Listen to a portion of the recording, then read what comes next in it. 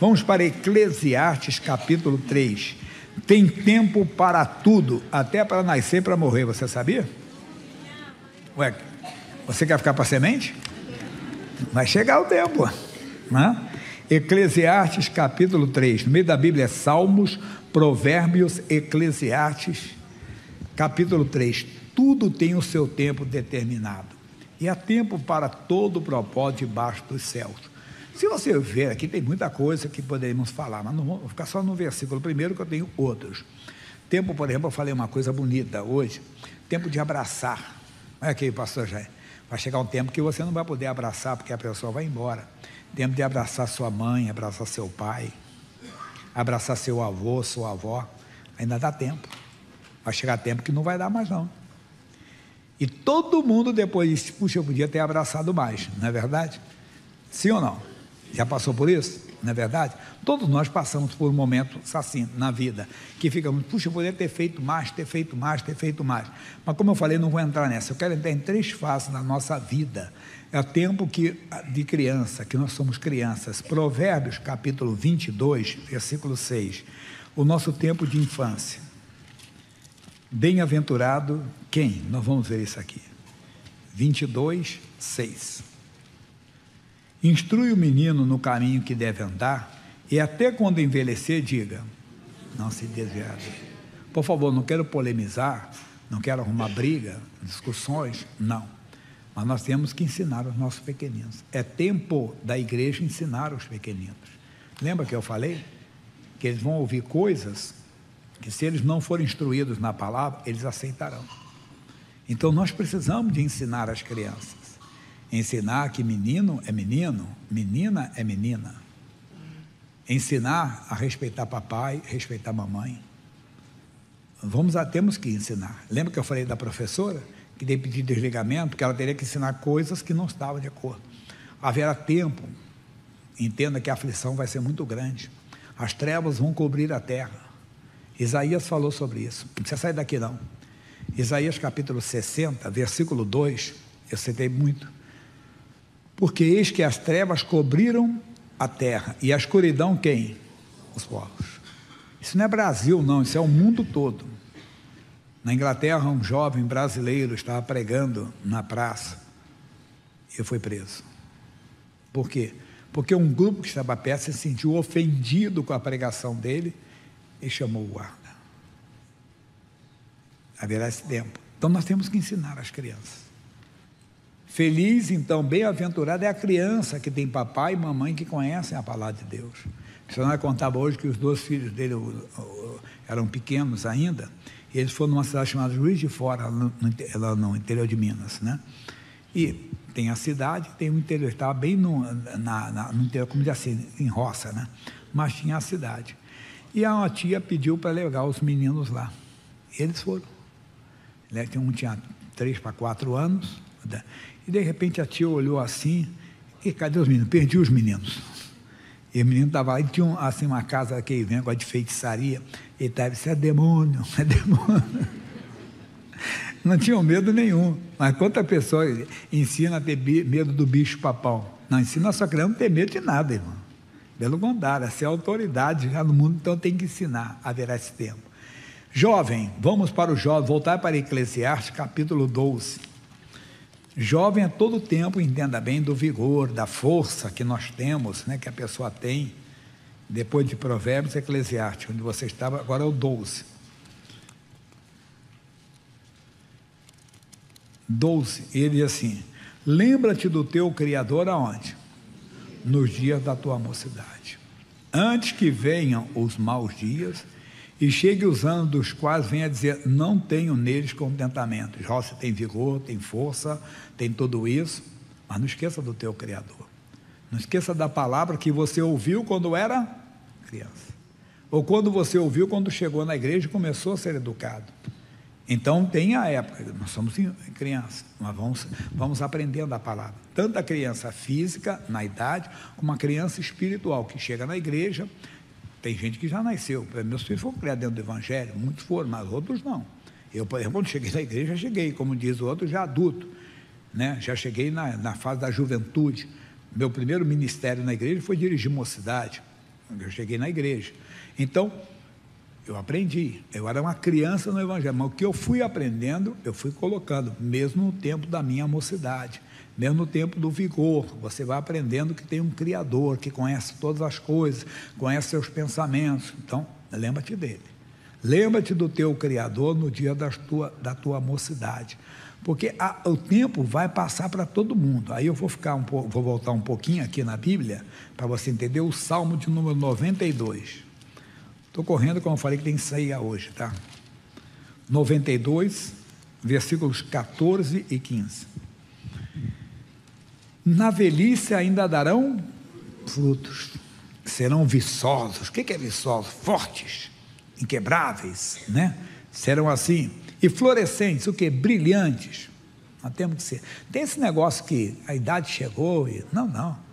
Cada dia busque mais de Deus, o fortalecimento, se envolva com Deus.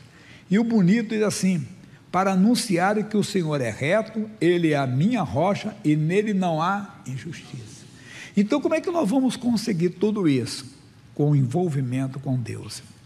Em fazer a criança se envolver com a palavra de Deus desde cedo, fazer os nossos jovens se envolverem com o Criador desde cedo, e fazer os nossos idosos, aqueles que já atingiram a terceira idade, aqueles que atingiram a terceira idade, entenda bem, que ainda continuam com o vigor de Deus agora. Eles continuam com o brilho de Deus ainda. Eles estão com a força de Deus ainda. E não devem, nós devemos ser testemunhas do Evangelho até o último dia da nossa vida.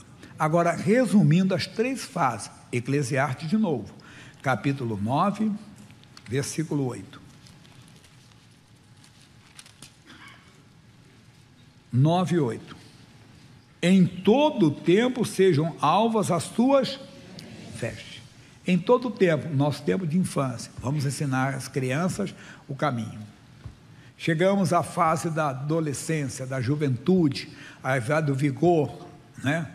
Pode, você pode pegar a mocidade aí. Um dia desse foi eu, foi, o pessoal foi, foi até da, foi uns, acho que uns dois anos atrás, a Organização Mundial da Saúde deu, fiquei feliz da vida, rapaz Diz que a juventude vai até os 64. Falei, ah, estou no meu último ano da juventude. Aí vai começar agora, né, né, vai começar agora a meia-idade, com 65. Falei, opa, glória a Deus, está começando a meia-idade, né? Mas não é assim no Brasil, né? Mas não é a idade que queremos falar. Olha o que ele está dizendo em todo o tempo. Então, seja você uma criança, ensine para ela. Seja um jovem, entenda bem, ensine.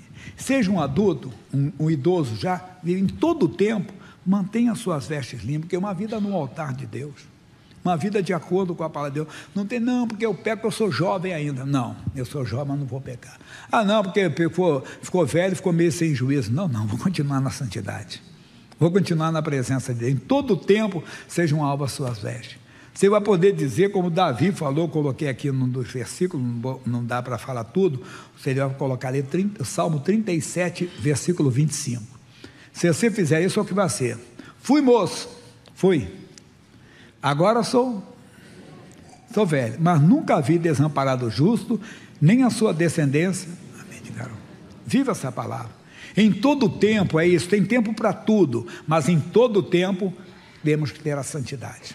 Em todo tempo temos que manter limpas as nossas vestes. Em todo tempo não pode faltar óleo, unção de Deus na nossa cabeça.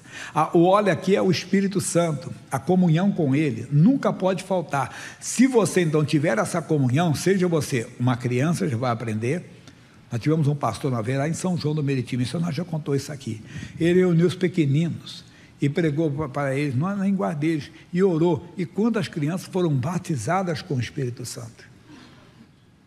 Coisa bonita, entenda? Reúna a juventude, o Zé de Jesus, que está agora, nesse momento ele está lá com jovens, a ideia é fazer todos os jovens serem batizados com o Espírito Santo. Eu lembro a primeira vez que eu comecei a ver o pessoal orando, e assim, línguas e tudo, eu ficava assim, ah, rapaz, eu me senti, um, eu me senti o mais frio de todos eles, né? Falei, Jesus, eu queria ser assim, né?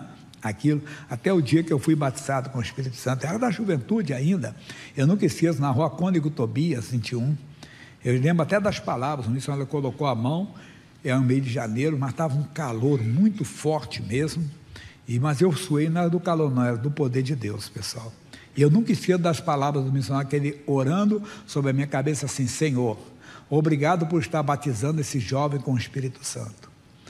Mas entrou, eu não gosto nem de citar muito, porque tem gente que quer sentir a mesma coisa. Não tem que sentir nada, é crer só. Mas eu senti como que um choque que entrava no meu corpo, do alto da cabeça, e passou todo o meu corpo, mas um choque, vamos dizer assim, sensacional, maravilhoso, entenda? E eu fiquei molhado como se eu tivesse, como se alguém tivesse pegado uma, um, um, um, balde de água jogado na minha cabeça. Eu suava, fiquei o corpo todo molhado ali. Mas que alegria, eu saí dali, mas orando a Deus, falando em língua no meio da rua, que eu tinha sido cheio com o Espírito Santo. Irmão, busque.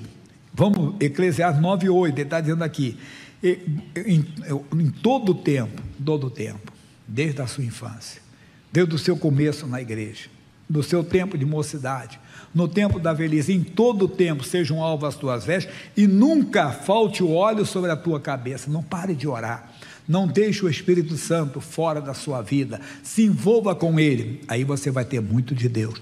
Desculpe correndo bastante, vamos para aqui, Joel capítulo 2, versículo, ou aí não dá mais para falar, 2, 28, tá bom? Só aqui para terminar. Joel, depois de Daniel, vem Oséias, depois vem o Joel. 2,28. E ele diz: E há de ser que depois derramarei o meu espírito sobre quem?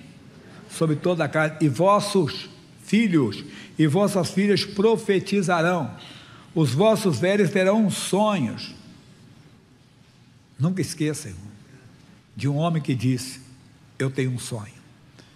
E não importa se você já é um, um velho, desculpa a expressão, mas eu estou incluído. Continue sonhando. Continue sonhando que com uma igreja cheia com o Espírito Santo, de uma juventude cheia do poder de Deus, da igreja de Cristo evangelizando e principalmente sonhe com a volta de Cristo.